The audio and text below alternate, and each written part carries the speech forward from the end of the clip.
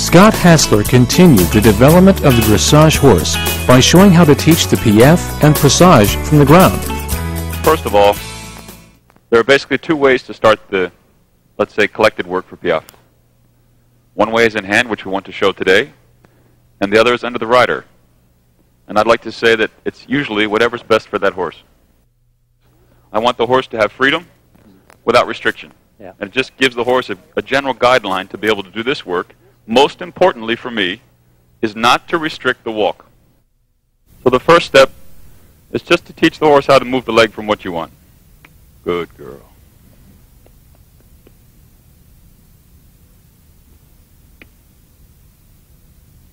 Good girl. Oh, it's fine. What I really like so far, and I'm learning about her energy, her sensitivities right now when you have a new horse. She reacts very well from the whip.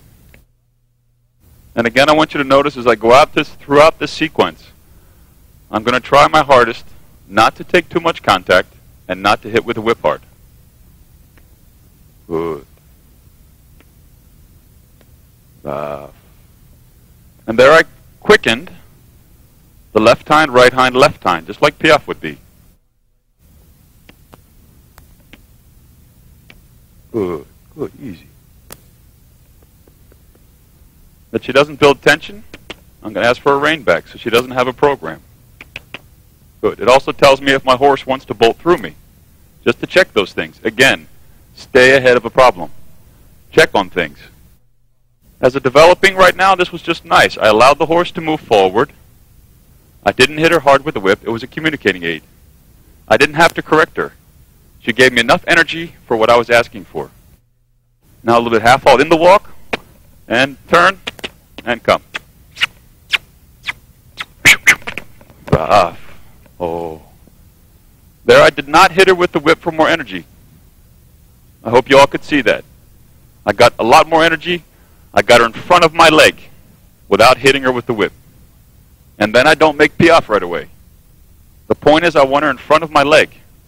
And I don't want to use that tension to come to piaffe. I want the aid to respond properly. Like that.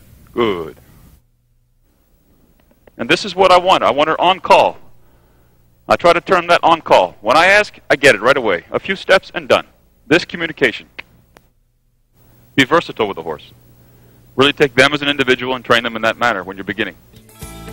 Christoph Hess then used a four-year-old American warm-blood gelding to emphasize the basics of good rhythm and impulsion in the collected gaits. This is, uh, from my point of view, a super walk.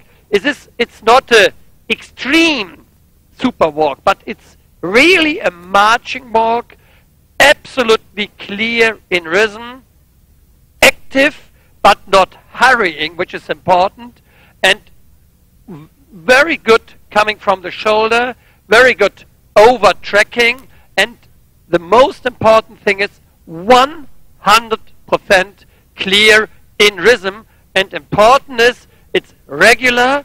You see on the curve line in the corners and on the long lines, and which is very good, the rider's able to ride this horse with the driving aids.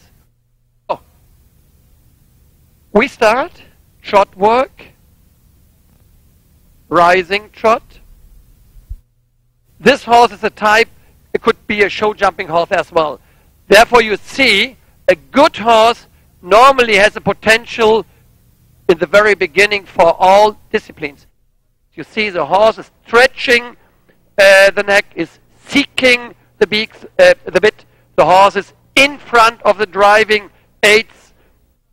And important is that the horse in canter has the, has the possibility to have an absolutely clear three beat rhythm. And I want to point out, I said impulsion we have to have not only in the extensions or in the medium gaits, but in the uh, collective gaits as well. Or the question is how good the impulsion is. How good the impulsion is. Only collection without impulsion is more or less having a dead horse. You don't see a difference between the canter on the left hand and the canter of the right hand. And Ellie is a very good student uh, because I said, think on the left hand a little bit more forward.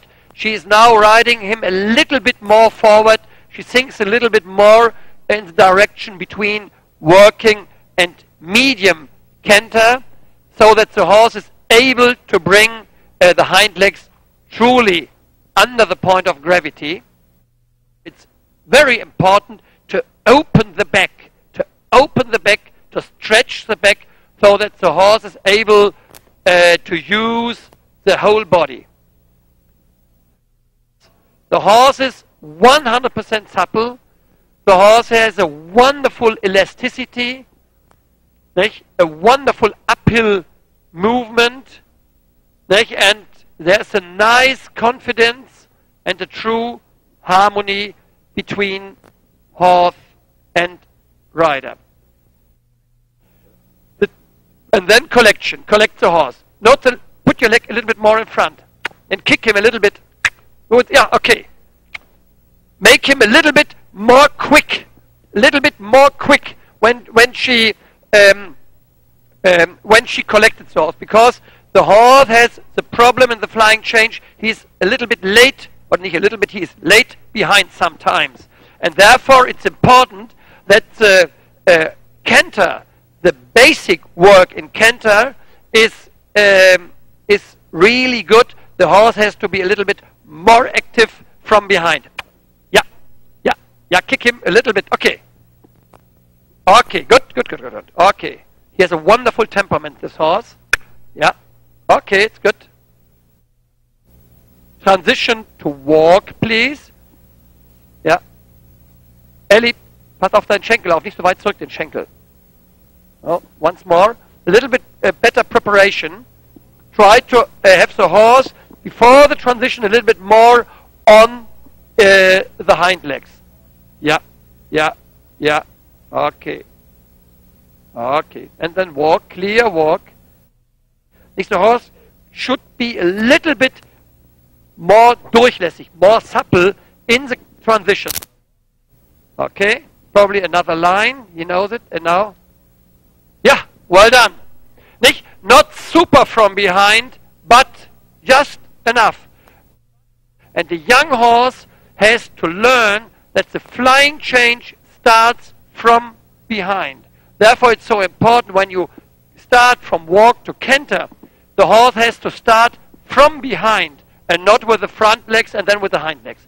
Now we want to see a flying change from right to left canter. Ah, it's better, nicht? You see, it's a little bit powerful when, he, when the canter starts. Yeah, the late behind. Yeah, well done. Did you see it?